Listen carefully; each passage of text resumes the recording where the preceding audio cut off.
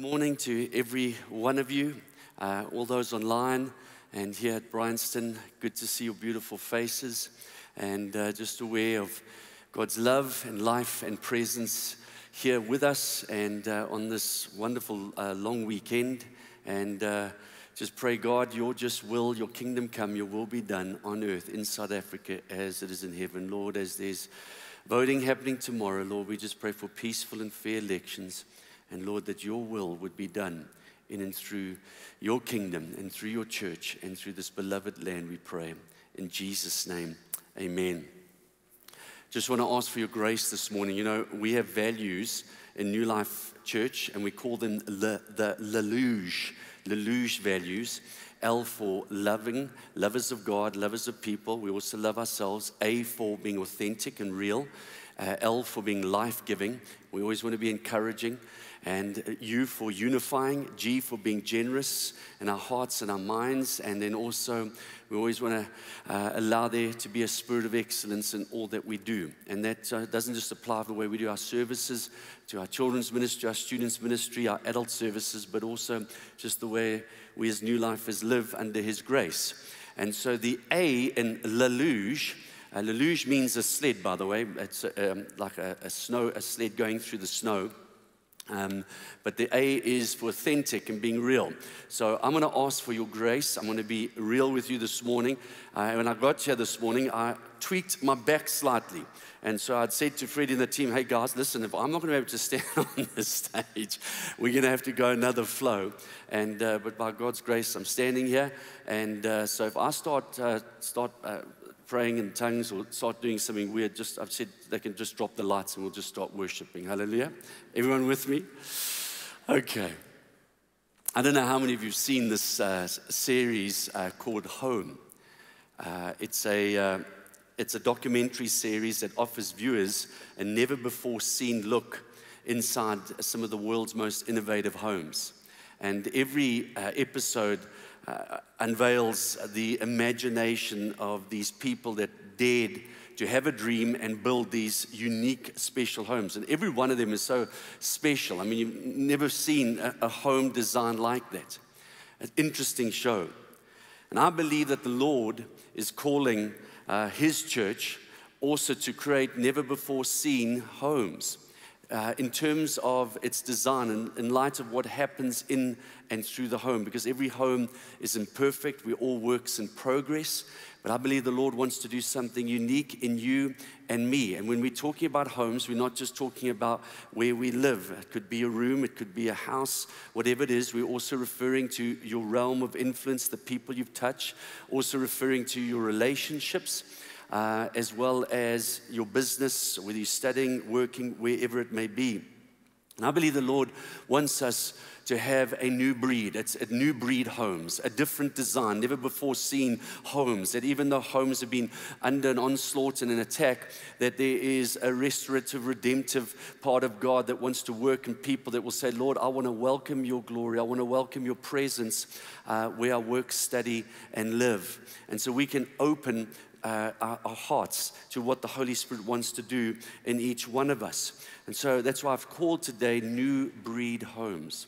That there's something about when God's glory is in a room, when God's glory is in a boardroom, when God's glory is in a house, uh, in a relationship, people recognize it, they sense it, they think, wait, there's something that I'm drawn to. They're being drawn to something weighty uh, in the sense of God's glory, His kabod, His presence. I never forget years ago, I had the privilege of going to a what they call a school of pastoral nurture, uh, headed up by Pastor Jack Hayford, who I've regarded as a very dear mentor to in my life. Uh, he has uh, mentored mil- uh, thousands of pastors and pastored a church called Church on the Way in Los Angeles, California. And every year, what he would do is he'd invite pastors from around the world to come sit with him as he would just begin to share some of the lessons and principles that he's applied in leading a healthy, beautiful church. And so, as a young senior pastor, uh, I would go there uh, at least four or five times over five, six years. And I was just like a sponge as I just listened to the insight and revelation he would share on what it was to be uh, a church that is uh, inspired and empowered by the Holy Spirit to make a difference in the world. And I remember uh, at different times I would stay in some of the members' homes. And uh, these were committed members of Church on the Way. It was based, as I say, in Los Angeles, California. And I remember as I'd stay in these people's homes, I was just so conscious of their humility. I remember the specific couple, uh, two professionals, a big home, uh, living in a very classy part of uh, Los Angeles. And yet, when I would talk with them and we'd eat together, I was just so conscious of their humility, their hunger for God, uh, as well as their servant hearted leadership. They, if they, had, they had every right to be arrogant because of the um, accomplishments they'd made to high professionals. And one, he specifically was high in Hollywood, movie industry, and all that stuff. But when I'd sit with them, I was just so conscious, firstly, of God's presence, His glory there, and just the fact that they were so natural, they were so authentic. They didn't have to appear spiritual, but they just begin to, to share some of the stories that were happening where, where, they, where they lived and where they worked.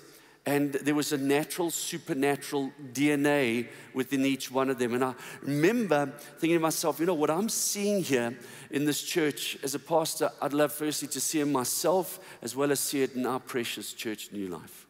These people, it was like a new breed. It was, there was a different DNA, uh, God's glory moving through just people who were just available to the Holy Spirit on a daily basis. They didn't have to pretend, they didn't have to try and act spiritual, they just were naturally supernatural. God was moving in and through them. And that's my prayer for all of us that your home, whether you're a single person or family, whatever it is, that people would see that there's a different DNA, there's something different, and we are drawn to it. You may not be perfect, but we are drawn to something that you are, are, are inviting and entertaining in your own home, and, and it's God's glory and presence.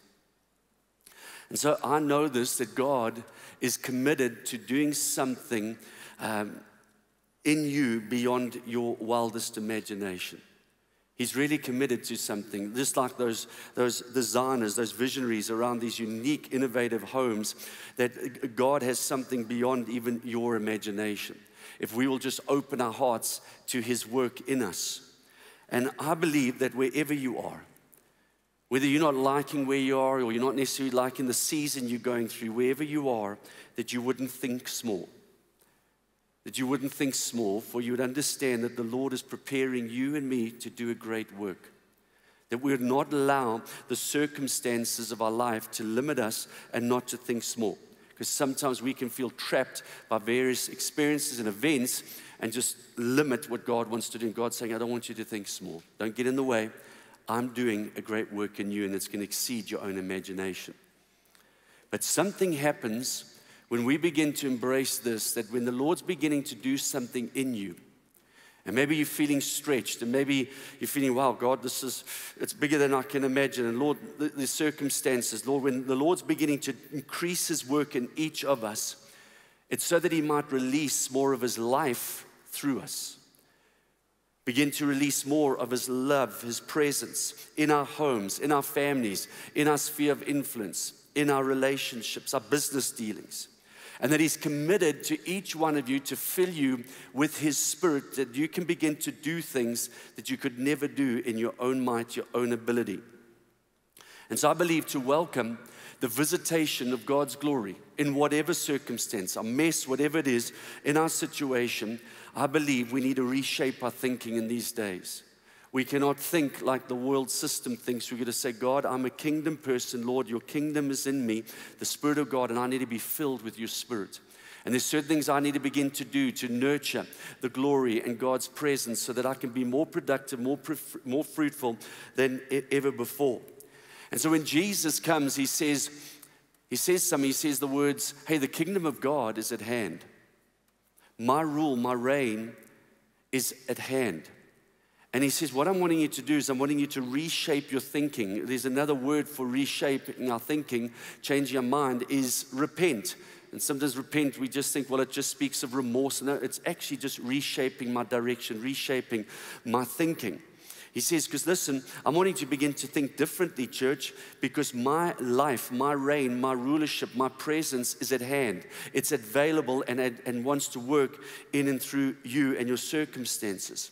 And so, through this series, and we're going to be, God willing, ending the series uh, next week, and by God's grace, we will talk about certain things that you and I need to know before you're ever going to make a move, a move to another suburb, even in a job situation, etc. Certain things we can see from the Word of God, certain things we need to do before you ever decide to move. And, uh, but we've said in this series that God wants to visit your house, my house, and all the different things that it refers to. But it's going to look, God's looking for a people that will be worshipers, not worshipers of ourselves, not worshipers of the creation, but worshipers of the Creator. God Almighty, worshiping Him. And there's something about worship that God inhabits the praise of His people, His God's glory visits our homes.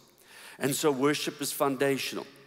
And I just want to briefly share three essential uh, principles that I believe also help in the release of God's glory presence into our lives.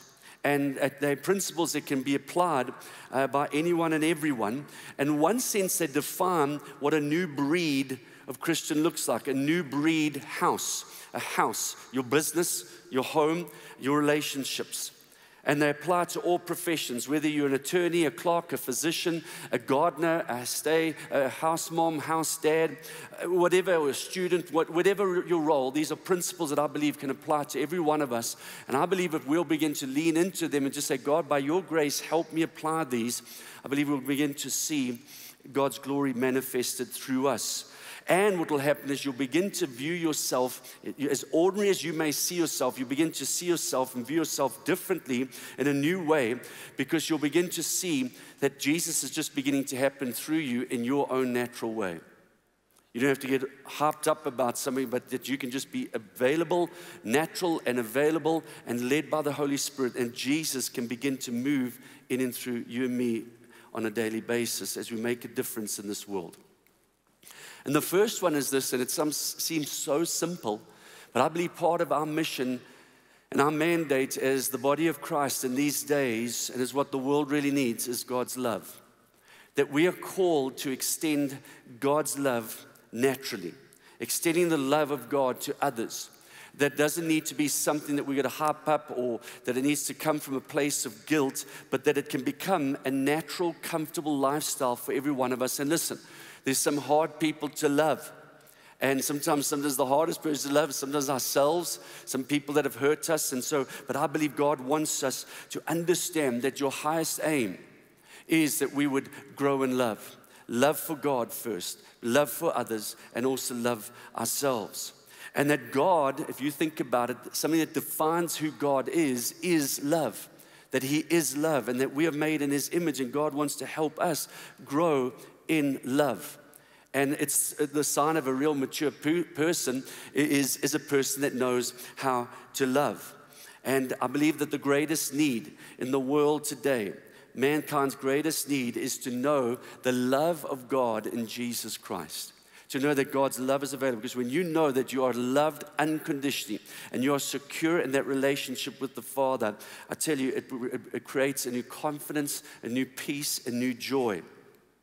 And so, um, people want to know God's glory, they want to know the love of God. And so, what we are called as people, as Christians in this world, on this planet, with all its unique challenges, with all its beauty, but all its challenges, all the evil in the world, etc., that I believe we are called as new breed people, new breed homes, that we are part of our mission apart from knowing God, worshiping God, knowing God, doing mighty exploits, is to begin to extend God's love to others naturally. And, you know, in the past, I've grown up in the church world since a little guy. And, you know, the way we would share the gospel of God's love generally was through church services. And that still is a key way that we share God's love. And there would times be moving altar calls that would persuade people to come to a saving knowledge of Jesus Christ, to know how much God loves them beautiful moments. And then also, there was a side of us as Christians, we kind of felt that we no matter what conversation uh, we were having, um, that you kind of always had to gear the conversation towards witnessing. that you had to have a plan strategy and how am I going to lead this person to Jesus? So no matter where you were, you had to kind of make sure that conversation was moving in that direction. Never forget once I was at Virgin Active Gym. Well, those days I didn't call it Virgin Active. It was up in Bryanpark. And I was just feeling so under pressure. I thought, you know, I'm in this gym and I, need to make sure that I'm sharing the gospel. And I remember I was in the change room and this guy standing there. And I thought, all right, I better tell him that God loves him. And I just looked at him and I said, Sir, just so you know, God loves you. And he looked at me and I just walked straight out. I didn't know what else to do. I just walked straight out and just said, God loves you. I think I thought, I hope the Lord used that moment of obedience. But sometimes, and then we'd go door to door. We'd have these clipboards, and we'd, part of our mission was to try and share the gospel to every person in the Randburg, Bryanston area. And so we'd every, almost every day go knock on doors. And um, things became a little bit difficult over time. Uh, but, uh, you know, we had a measure of effectiveness as some people would open to uh, us coming to their home and, and, sharing the love of God with them. And, you know, so there, there was nothing wrong with these different ways where we could extend the love of God to people. Nothing wrong with it. But I, I, wonder for quite a few of us who've maybe known the Lord for some time, we know that we're called to be effective witnesses, but sometimes uh, a, a, it was a, it was a guilt induced lifestyle. There was a part where I just felt if I was with anybody, I, I had to now share the gospel.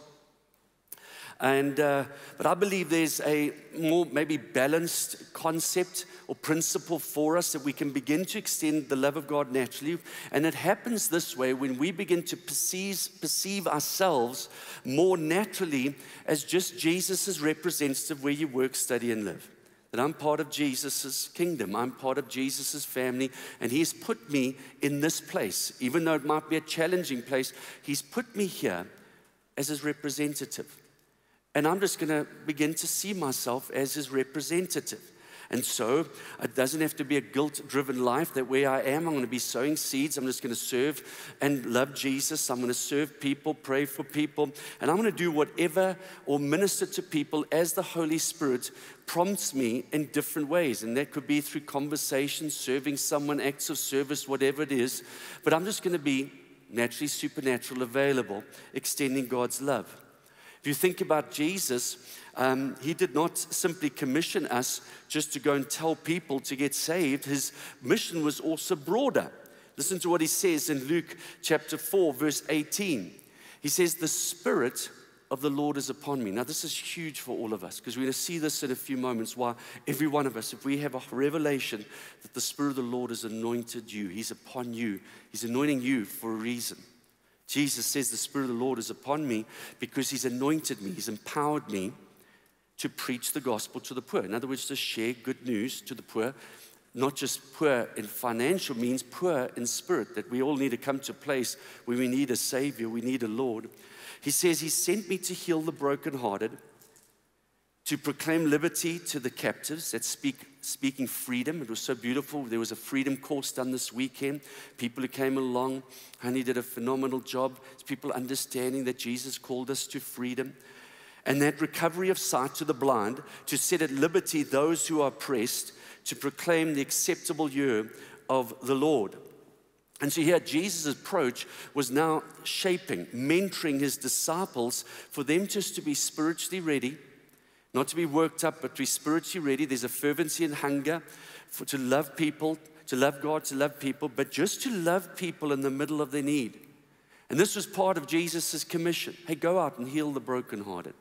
Those who are feeling oppression, depressed, whatever it is, by different circumstance, go along and just be an agent, a representative of Jesus to share his love, his life, his presence, his power with them.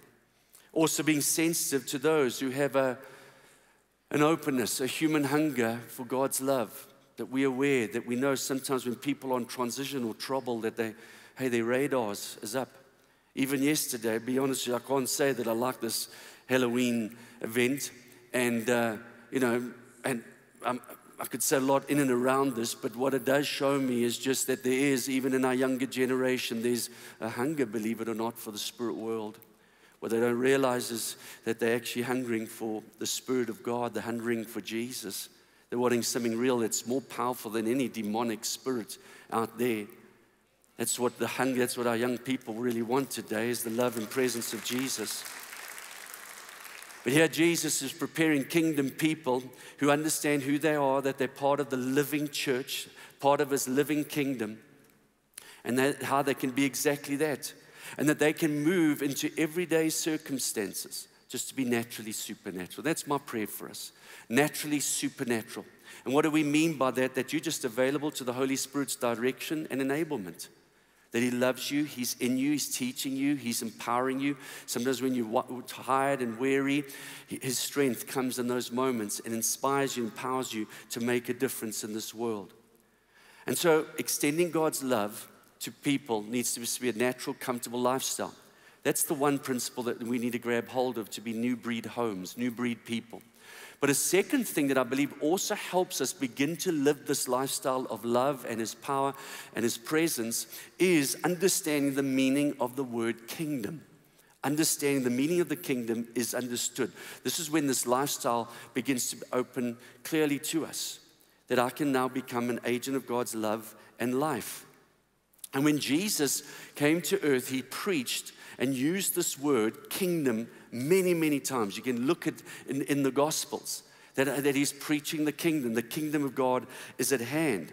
This was the heartbeat of the gospel, the good news that Jesus was saying that there's a new kingdom now that's present. And this kingdom is filled with righteousness, that you can be right standing with God, that you can be in a secure relationship with the Father, that you can have a peace that surpasses all understanding, that you can also understand what it is to have joy in His presence, there's fullness of joy, that you can be an influencer in this world for His kingdom, that you can be invited into His kingdom. Unless one is born again, you cannot enter His kingdom, enter His reign. Think of a king and His kingdom. But this king is full of righteousness, He's pure love, pure peace. And here He's saying, I've come to provide a kingdom for people to be invited into this eternal kingdom where you can have a king that begins to rule in reign reign in your life and mine. Where sometimes our flesh or the enemy or different circumstances have tried to rule and reign in our lives. Now, what we're doing is we're opening our heart, we're opening our minds, our heart,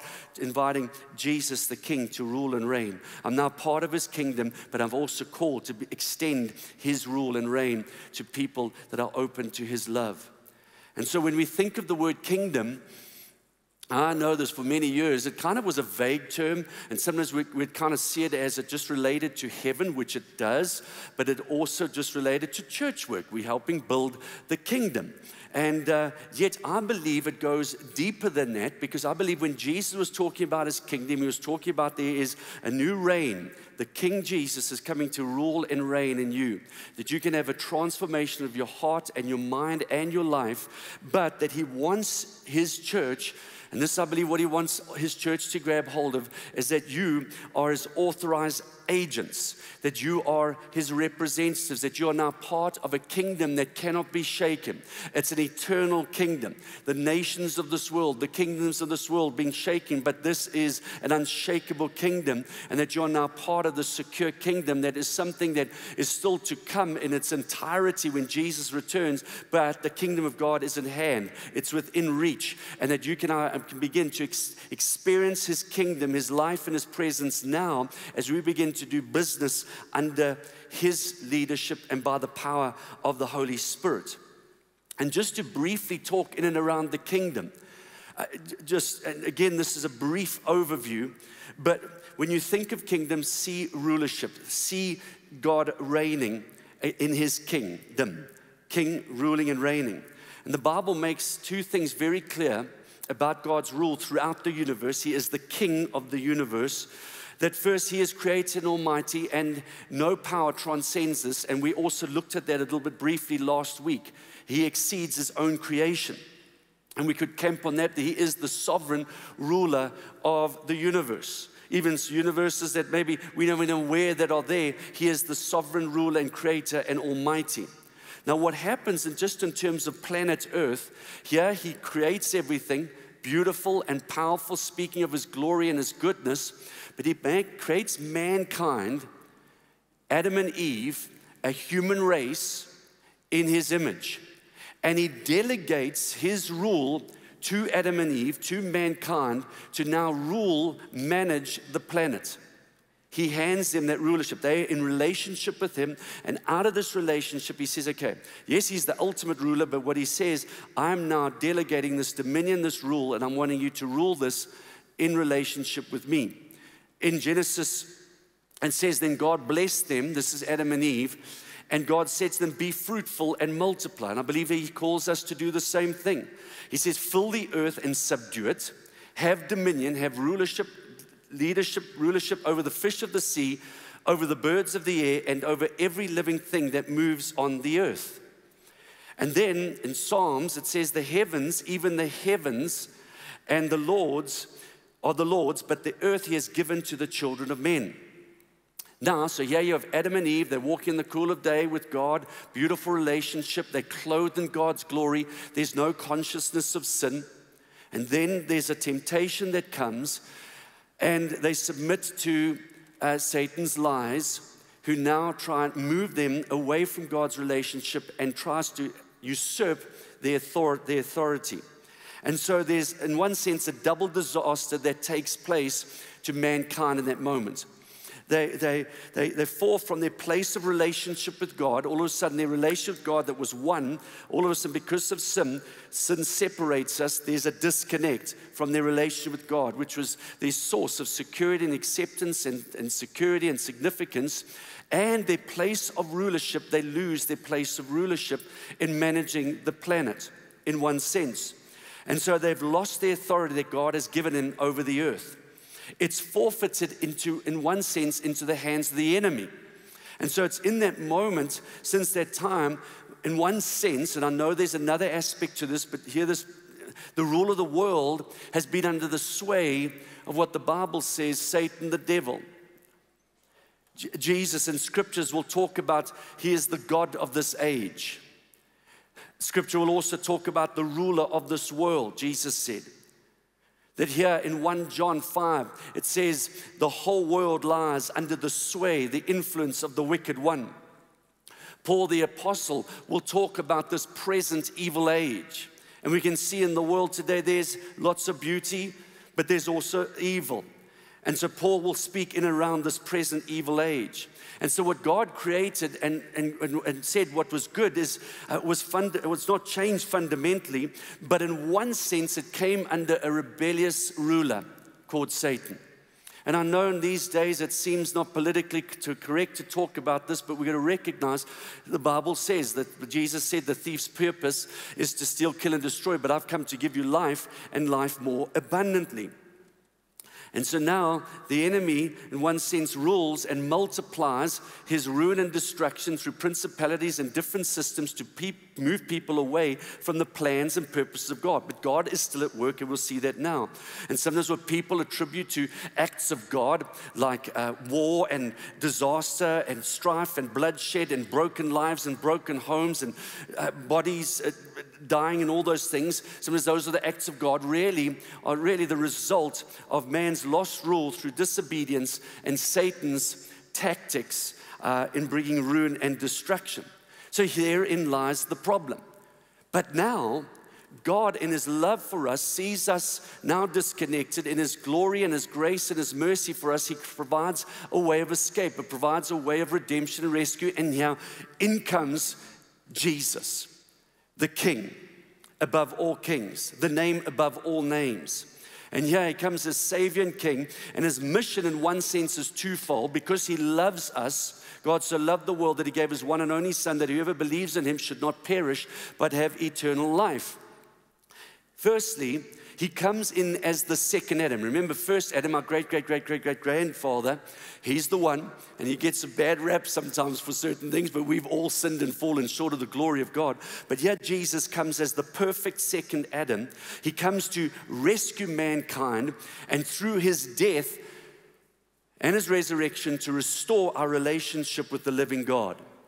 And by rising again and overcoming sin and overcoming death, here he rises from the dead. Death could not keep him down because the wages of sin is death, not only spiritually but also physically. He rises from dead, the dead, and he begins now the reinstatement of mankind to now become rulers in life under his reign. So not only does Jesus now, those two things that were lost in the Garden of Eden, relationship and rulership, through accepting Jesus, we now become part of his kingdom. Our relationship with God now is secure. Nothing can separate you from you, uh, his love. You are now secure with God Almighty for all eternity because of what Jesus done. But now he's also given you resources, his power and his presence for you now to begin to rule and reign in life. And that we are now placed in this earth to allow God's rule to be manifested where we work, study, and live. Yes, all works in progress, but that God's presence and power can rule and reign in your home. I can make a decision. I'm going to allow God's rule to happen here, or I can allow the rule of the enemy or the rule of my own flesh. And the Bible says to sow to the flesh is to bring its own pain and destruction. And many of us know what the flesh can do. But here, Jesus is walking on earth, and his ministry is demonstrating his rule entering the human scene. People are seeing miracles and, and signs and wonders here. The, the winds and the seas even obey his words. People are seeing miraculous provision and they're seeing, wow, who is this? They're understanding this is King Jesus, the Messiah, the Son of the living God. He's also helping fallen people to receive forgiveness and restoration and healing and freedom. He's calling people to forgiveness and they're beginning to see the evidence of this rule of his kingdom, the power of his kingdom. And so, whenever people would receive his rule by acknowledging Jesus as Messiah, they would begin to sense a change happening on inside of them. And as they would begin to yield to Jesus' kingship, his rulership, they were beginning to open their heart to more of the blessings of his kingdom and the understanding the king is here. Jesus told his disciples that he would die, that he would rise again. They also saw him living a perfect, sinless life, showing, showing us hey, listen, we might not be perfect, but by his spirit and by his help, we can begin to try and live the Jesus life in loving a hurting world, bringing peace to anxious hearts, bringing life and, and, and, and peace in, in his presence. And then what happens when he rises from the dead, all of a sudden the reality of what Jesus has accomplished on the cross transforms, changes the hearts and minds of the disciples. These timid people that now had seen Jesus at work, here they thought it was over when Jesus died. Now they see the resurrected Christ. They are filled with the boldness of God. They're filled with the anointing of God. They have a revelation that we are now part of His eternal kingdom and we've been put on this earth to extend the ministry of Jesus. The things that Jesus was doing on earth, Jesus now calling us to begin to extend his kingdom, his rulership, his reign in people's lives.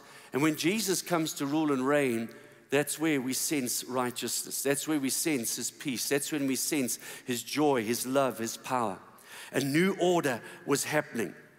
And what Jesus said before he left, he said, Now listen, What's going to happen? I'm going to go. I'm going to rise from the dead. At first, they weren't really understanding what, why the cross was taking place because he had to save the sins of the world through his blood and his life. And Jesus says, Then I'm going to rise from the dead and I'm going to send to the right hand of the Father.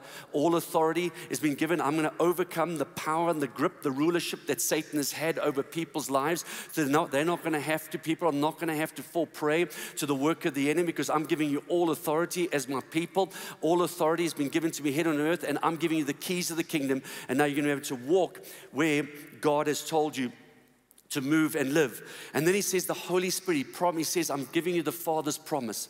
I'm not to leave you alone. Someone is to come live in you, dwell in you.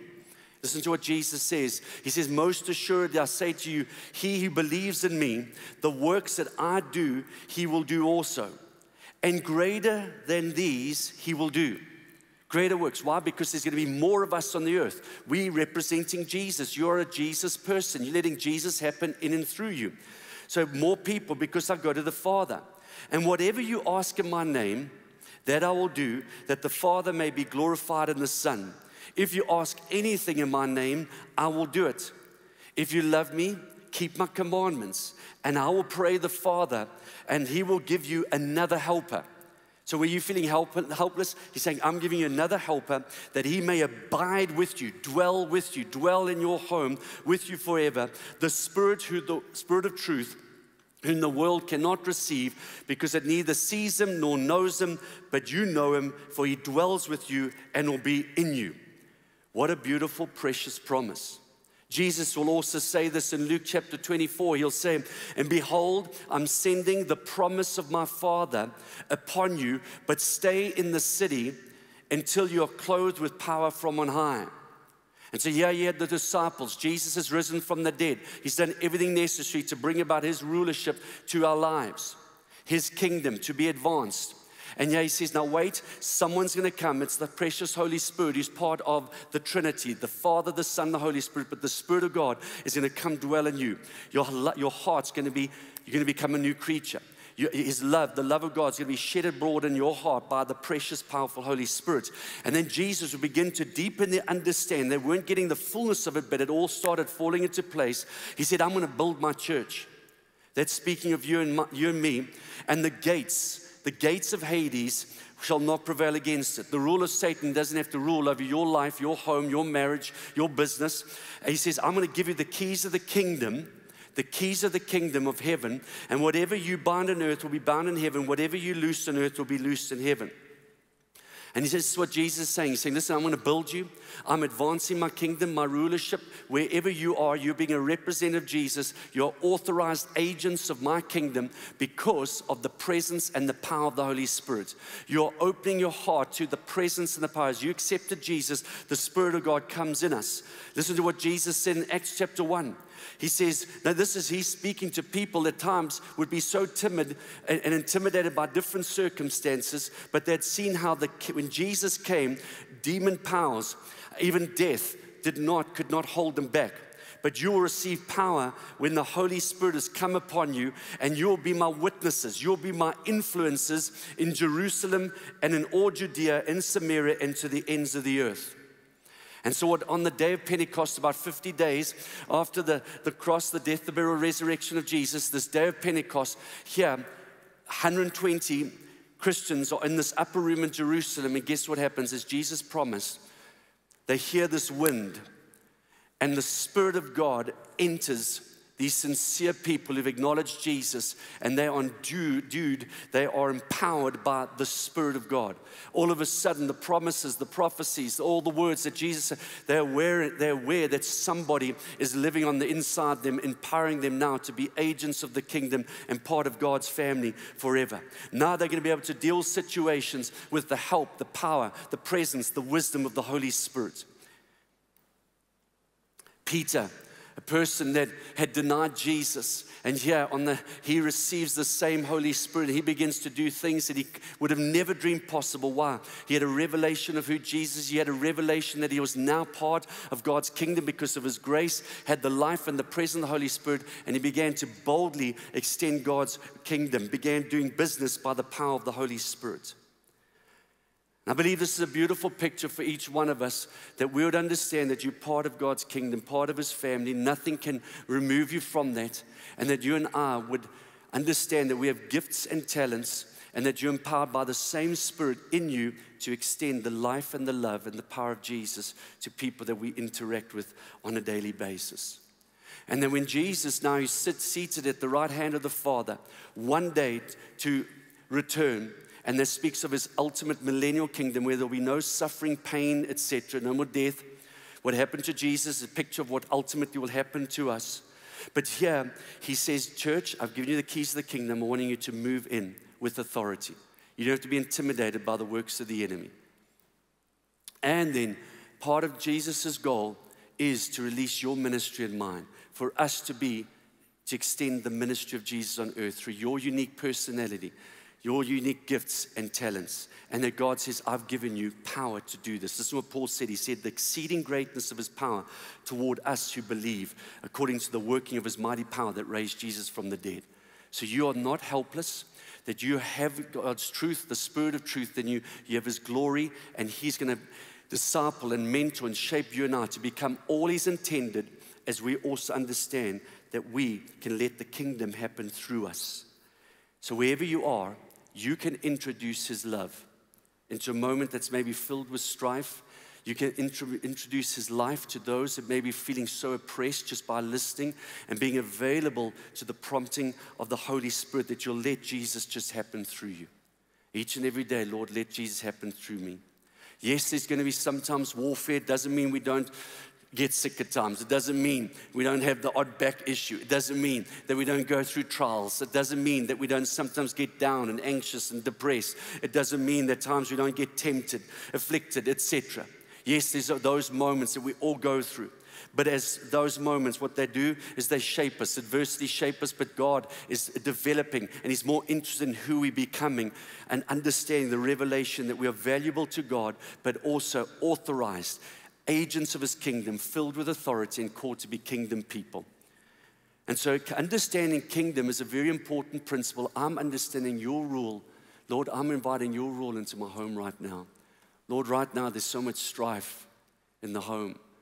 Lord, there's so much hatred. Lord, I'm inviting your love into this hurt. I'm inviting your love. Lord, right now, maybe there's so much unrighteousness in this situation or in this area. Lord, I'm praying, Lord, I'm inviting your rule of righteousness. Lord, I'm praying for your rule of justice to be manifest, to establish here. Lord, where there's so much fear and torment, Lord, I'm praying for your peace and your power to come, your rule. Because when Jesus is evident, when he's there, I tell you, you recognize the glory of God's there, and He's in you by the precious Holy Spirit. And all we got to do is open our hearts and just say, Lord, do your work in me. And then, thirdly and finally, before we fin- finish with a beautiful worship song, the fruit of this lifestyle of extending the love of God, naturally, God's presence and power, abounds only when a person opens to and lives in the fullness of the Holy Spirit. Jesus said this receive the Holy Spirit. He said to the disciples, Listen, want you receive the Holy Spirit. He said, Listen, if you're a good father, want to give good gifts to your children, how much more the Heavenly Father wants to give you the precious gift of the Holy Spirit, the Spirit of God in us. And I believe a new breed homes of people that have a revelation of the Godhead. They also have a revelation that the Spirit of God is in them and that you have someone who abides with you forever, that you're never alone. You're never alone. You got someone who's teaching you, helping, no matter where you go on this, on this planet, that you got the Spirit of God shaping you and helping you and glorifying Jesus in and through your life. And all we got to do now is just be available every day. Say, Lord, today is a new day. Lord, use me in my unique way. Lord, I'm going to respond to different situations. And when you begin to study the early church, you understand that these were people just empowered by the Spirit, welcoming the Holy Spirit, fresh and filling, saying, Holy Spirit, I've given out a lot this week, Lord. My, my soul's a bit weary, Lord. I, but now I'm just opening today, Lord, a fresh and filling. Fill me, Holy Spirit. Fill me with your presence. Lord, there's a work that you're calling me to do today. Lord, strengthen me to do, Lord, things I could never do my own. Fill me, Holy Spirit. I'm opening, Lord, just for a fresh and filling, just refreshing, restoring. Lord, that area of brokenness in my own soul, Lord, Lord, I'm praying that you begin to heal it. And then what happens, you begin to see how things just happen through the New Testament Christians. They didn't necessarily have a clear strategic plan to say, okay, today this is how we're going to plot this area, this is how we're going to strategize there. No, no, all they did, they were just open. Like Peter and John, there was a, a, a crippled man next to this temple called the Beautiful Gate. Every day he was asking for money, and every day Peter and John would be going to the temple to pray. But one specific day, this, this man says, I need some money.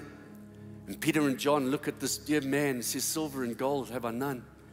But such as, such as I have, give I unto you. In the name of Jesus Christ, rise and walk. And all of a sudden, there's power and I'm not saying God heals everybody, but in that moment here, this man, the Bible says, he was healed and he was walking, leaping, praising God and began giving glory to Jesus. Peter and John, though, were just available to Holy Spirit. Just pray for this man.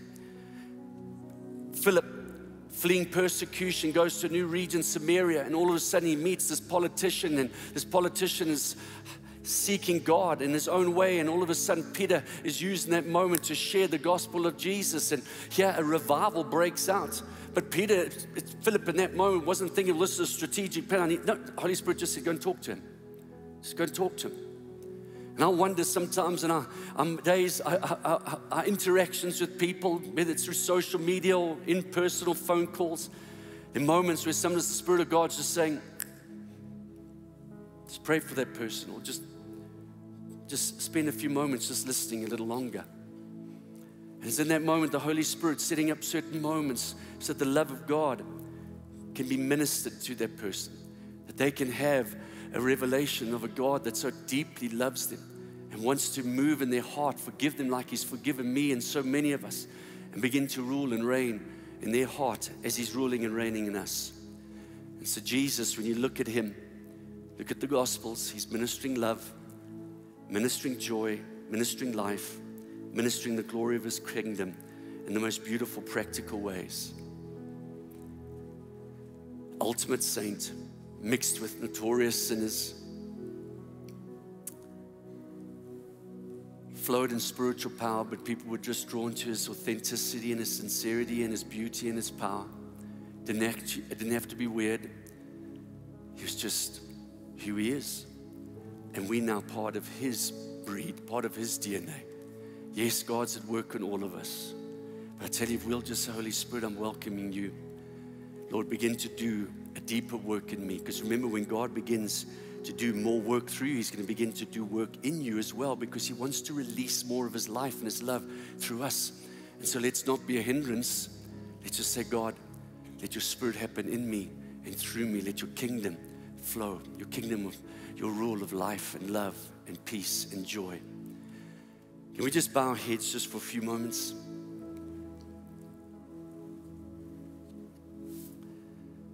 Can you just say, Holy Spirit, I need you? Refresh me, fill me, restore me, empower me to do the things you've called me to do. Lord, give me a revelation that I'm your son and your daughter. I'm part of your forever family. I'm part of your kingdom where Jesus, you rule and reign. I don't have to be intimidated by the works of the enemy because you've given me authority, keys of the kingdom to advance your rule, your reign in my life, in my home, in my future. You abide with me forever. So, Holy Spirit, I just ask, Lord, that you would just bring your glory right now. Just say, just say, Lord, I want my house to be filled with your glory. I want my life to be filled with your glory, filled with your presence. Lord, let me be a carrier of your glory to people on a daily basis. Lord, anoint my gifts and my talents, the purpose that you've called me to, to make a difference in this world.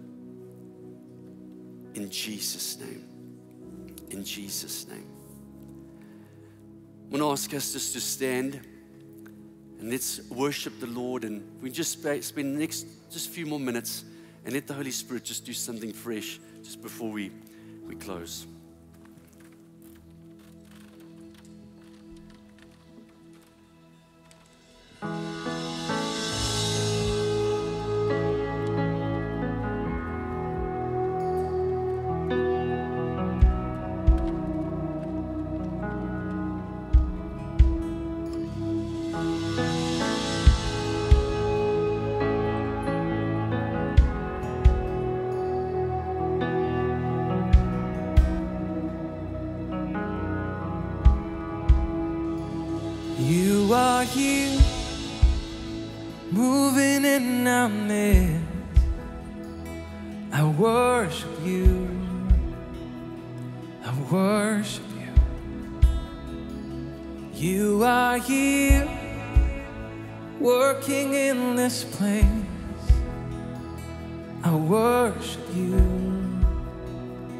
I worship you.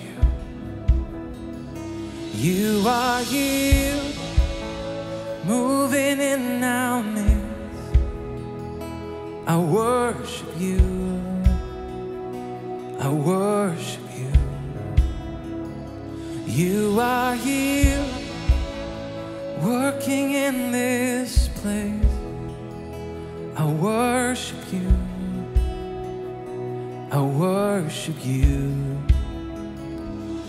You are waymaker, miracle worker, promise keeper, light in the darkness. My God, that is who you are. Lift your voice and sing. Waymaker, miracle worker, promise keeper, light in the darkness. My God, that is who you are. You are here, touching every heart. I worship you. I worship you. You are here, healing every heart. I worship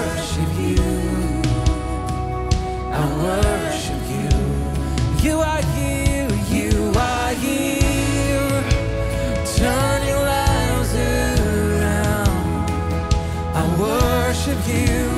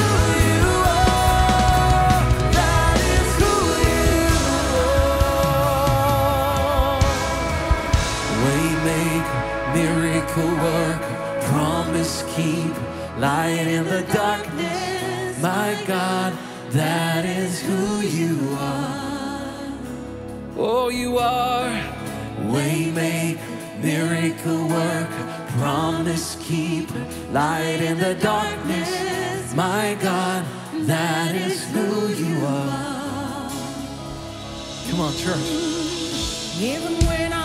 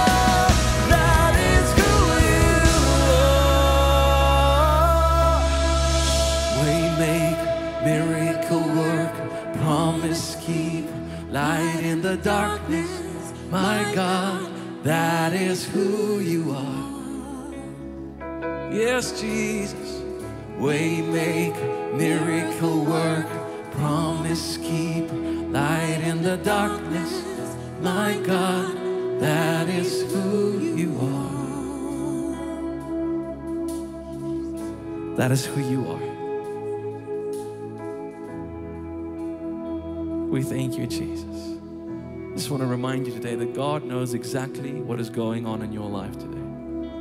Nothing hidden, nothing distorted. He's got 2020 vision what's happening in our lives. And I truly believe that He will make a way where there seems to be no way.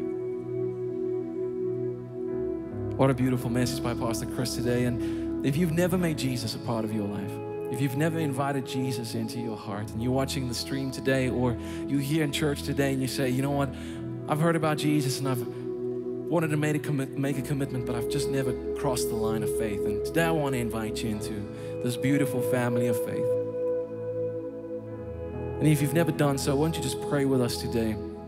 Let's all pray together. Dear Lord Jesus, thank you for loving me so much that you were prepared to die on a cross for me, for my sin, for my shame, and my pain. Today, Lord, I ask you to be my Lord and my Savior.